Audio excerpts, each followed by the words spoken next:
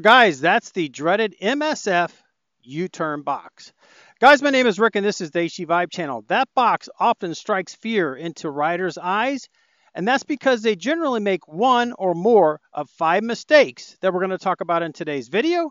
And I'm also going to give you some tips to overcome those mistakes so that you too can conquer the MSF U-turn box. And we'll get into it right after this.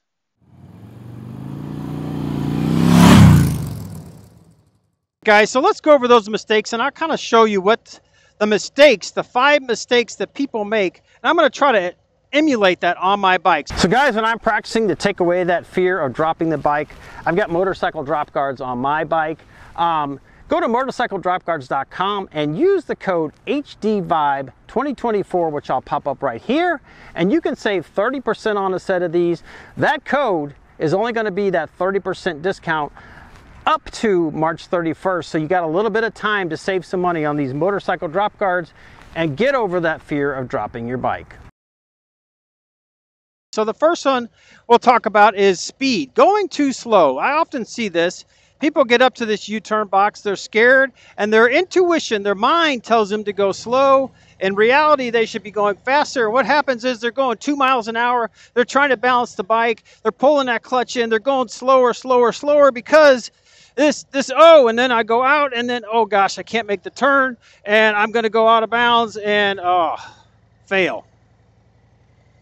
So obviously to alleviate that problem, again, when you're doing this MSF U-turn box, you want to get in that seven to eight mile an hour range. That's probably the sweet spot. Certainly well over five miles an hour, uh, but something less than 10. So seven to eight is probably the sweet spot. So the next thing that people do is they don't use all of the space that they have available. You got 22 by 60 feet. And what they do is they come in off these lines and I'll show you that so they don't have as much space to make that U-turn and come back around and do that figure eight. And it kind of goes something like this. So they're about a foot, maybe two feet off the line, and they're trying to come down here and they, oh, they do everything and then, oh, oh, oh. It, it doesn't leave them enough room. So to alleviate that problem, you want to use all that real estate. You want to put those wheels, those tires right almost on that line. You want to use all of the space going out to the cones, use those cones on the other side and come back around so that you use all that space makes it much easier. So the third thing people don't do is they don't use the friction zone. They're pulling that clutch in not or either letting it all the way out and trying to go around these U-turn box using the clutch fully engaged, which there is no way that you can do that. And then you have to try to control it with your throttle, and that's very difficult. So again, it's millimeters of movement on that clutch in that staying in that friction zone the whole time. Don't pull it in and don't let it all the way out. So if I pull this in, I get up to speed, I'll show you what happens here. I'm not going to let it all the way out the bike has no power. I'm coasting fast enough. I probably could do this. But if you don't get power, that bike is going to fall over. You're going to have to put your foot down and you're probably not going to make the U-turn. The opposite happens. You let that clutch all the way out. You're going to be flying down the range. You're not going to be able to make a turn. You're going to go right through the through the U-turn box.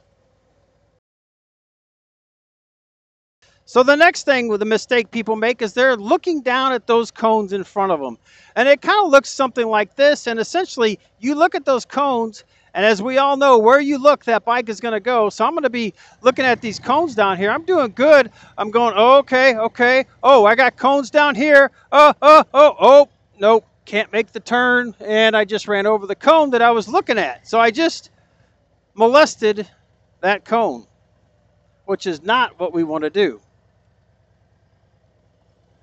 So I've got a cone down there. You can still see it. I molested it. I knocked it over because I was looking at that cone. So what you want to do is obviously not look at those cones. Keep the head and eyes up on a swivel. And the next thing people don't do is they don't turn their head fast enough when they're going through here. And what will happen is this. If you don't turn your head quick enough, I'm good. I'm using all my space. I'm not looking at the cones, but I don't turn my head till here and oh my gosh, I can't make it. I can't make the turn because I turned my head too late. So again, that head turn has got to happen almost when you're maybe a half to three quarters of the way down. You're turning, you're looking over to this cone over here. You're using all that real estate and you're staying in there. And then you're doing the same when you get down here. You're looking over there, etc. So you're always looking where you're going, not where you have been.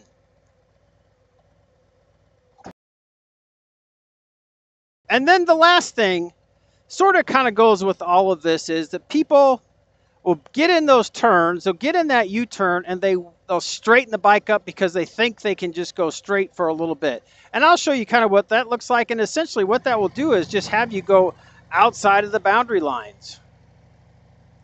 So we do our turn ahead. We're good, we're good, we're good. And, oh, let's straighten up. And, oh, I just went out of bounds because I straightened the bike up and I couldn't turn it back the other way quick enough. And I probably didn't snap my head back over my right shoulder to be able to complete that.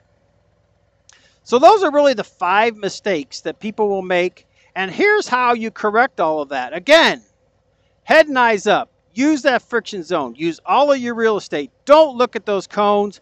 Turn your head as far as you can. Stay in that turn. Do not straighten up that bike. And you can master this MSF 22 by 60 U-turn box. And let me show you how to do that. So we're coming down. We're using all our real estate. Turn my head. Turn the bike. Turn the bars. Friction zone. Came through there real nice. I'm to use all my real estate again. Turn my head and eyes, looking over my right shoulder now. Get back down here. Use all of my real estate. Turn those bars. Keep them turned. Use that friction zone. And do the same down here. Turn. And again, I'm going nine miles an hour.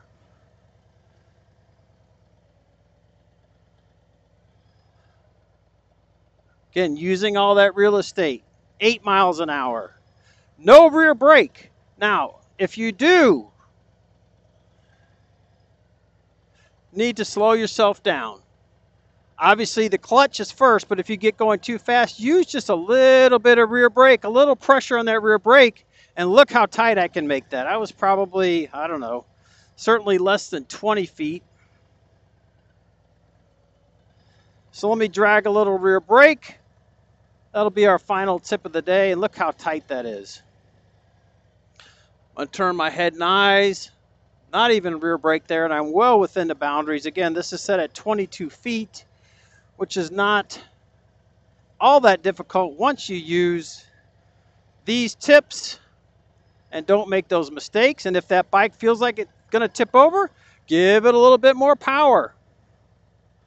Don't let it tip over. And don't straighten those bars out. Look at that. Turn the head. And I'm not using hardly any throttle. This is all friction zone. The bike is basically just idling. And that's what you call total clutch and throttle control.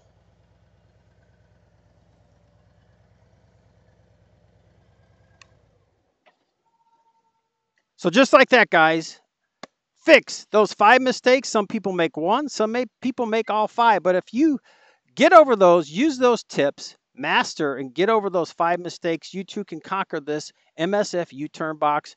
Make figure eights just like I was, nice and smooth, um, and it's no problem at all. So, guys, leave some comments down below. Let me know what you think about this video. What works well for you? Have you made these mistakes? Have you corrected those mistakes? Do you get out and practice? So, guys, if you got some value out of this video, please give it a thumbs up. Also consider sharing this with your friends so that like-minded individuals can see this video and learn how to not make those mistakes and correct them so they too can master and conquer this MSF U-turn box. Also, subscribe to the channel. Hit that subscribe button right down here. That really helps out the channel. And when you do subscribe, leave a comment down below saying I subscribe so I can personally reach out. Thank you for supporting the channel. Also, don't forget to hit that bell icon and select all so you do get notified every time we do put out new content. I have over 200 videos on tips, tricks, rides, reviews, and installs on these Harley Davidson touring motorcycles. You may learn about a product. You may learn how to install a product, save yourself some money. There may be discount codes and you might get some riding tips like this so that you too can become a more confident rider. So, guys, with that, I want to leave you with this thought Life is short. Get out and ride the bike. Thanks for stopping by, and we'll see you on the next one. Bye now.